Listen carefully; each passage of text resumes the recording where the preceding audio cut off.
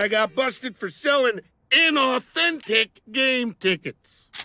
Well, I'm in here for no good reason. Unless you count being the most committed tentacle trooper in the whole arena. Ugh! Yeah! Did the jellyfish score? Nope. New Jersey just went up by a goal with one minute left. Gabagool! You're a Gabagool fan? Hope your team's better at playing golf than they are at hockey, because they're about to be on vacation.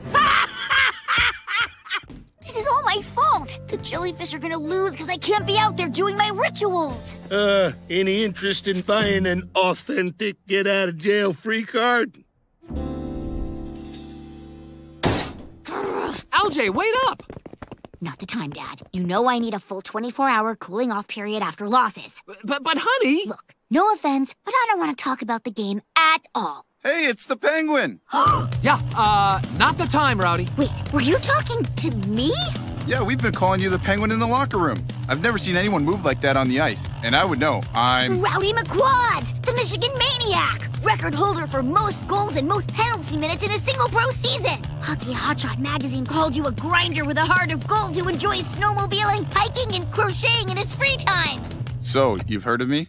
Look, Rowdy, I owe you a big time apology. When I was doing all my game day rituals, the jellyfish were winning. Then I got kicked out of the arena and you guys lost. But we didn't lose. We won. What? How? I wasn't there to do my good luck stuff. We athletes are a strange breed with our superstitions. I've worn the same pair of underwear every game since college. Actually, I'm wearing them right now.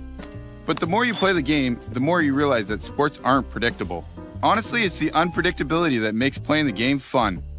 Hey, you think I could get a pick? The guys in the locker room aren't going to believe I met the penguin. Sure.